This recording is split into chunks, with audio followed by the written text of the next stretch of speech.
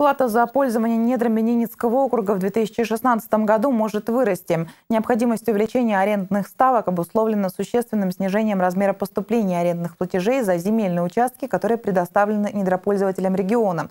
Речь идет о землях промышленного и специального назначения, расположенных на межселенных территориях Заполярного района. Арендная плата субъектов торговли в населенных пунктах округа, наоборот, будет снижена в разы. Новые арендные ставки обсудили на заседании администрации региона. Пересмотреть арендные ставки за пользование недрами региона было решено после существенного снижения доходов Заполярного района, которое во взаимосвязи с нормами постановления правительства Российской Федерации обязывает регионы рассчитывать арендную плату за земельные участки, предоставленные пользователям недр согласно ставке в размере 2% от их кадастровой стоимости.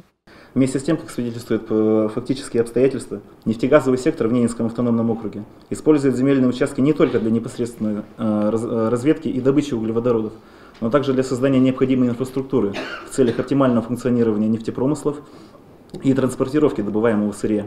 К элементам инфраструктуры относят в частности нефтепроводы и зимние автодороги недропользователей. За эти земельные участки они платят ту же арендную ставку в размере 2% от их кадастровой стоимости, при том, что вышеупомянутые объекты недропользования не входят в классификатор видов разрешенного использования земельных участков, утвержденного Минэкономразвития. Следовательно, к таким земельным участкам регион вправе применять иные арендные ставки. Представитель отдела государственного земельного контроля также отметил, что площадь земельных участков на межселенных территориях Заполярья Полярного района, на которых нефтяники размещают объекты трубопроводов и автозимников, почти 4406 гектар.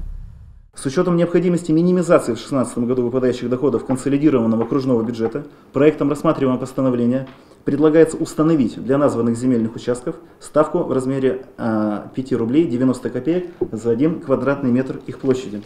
Такая арендная ставка позволит привлечь в казну региона 259 миллионов рублей, в разы больше, чем в текущем году. Согласно тем же мартовским поправкам, земельный кодекс в регионе была установлена новая единая для всех ставка за аренду земли под торговые объекты в размере полутора процентов от кадастровой стоимости. Новая ставка снизила нагрузку на предпринимателей почти в два раза, чего не скажешь о субъектах торговли на селе. Для них нагрузка увеличилась почти в пять раз по сравнению с прошлым годом.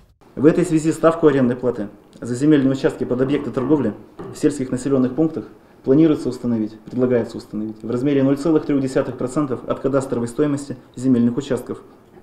Принятие таких мер позволит в 2016 году снизить возложенную на предпринимателей арендную нагрузку на 753 тысячи рублей 308 на 753 тысячи 308 рублей 81 копейку. Такое снижение администрация региона посчитала справедливым. Этого добивались и сами хозяйствующие субъекты, и Укрпотребсоюз, и уполномоченный по правам предпринимателей региона. Безусловно, э, вот в условиях, когда окружной бюджет фактически, приняв новое положение по аренде, теряет в виде выпадающих доходов сотни миллионов рублей, сотни миллионов рублей, это решение – оно ведь далось окружным властям очень непросто. В целом по году цена вот этого вопроса по аренде торговли сельской, а, это минус 750 тысяч э, из окружного бюджета в следующем году. И последующие годы, это надо понимать, с 2016 года 12 потреб обществ и 24 прочих организаций ИП и ООО, которые имеют торговые объекты в сельских населенных пунктах, будут платить арендную плату за земельный участок под своим торговым объектом в 5 раз меньше, чем платили в течение 9 месяцев текущего года. Ирина Цепетова, Леонид Шишелов, телеканал «Север».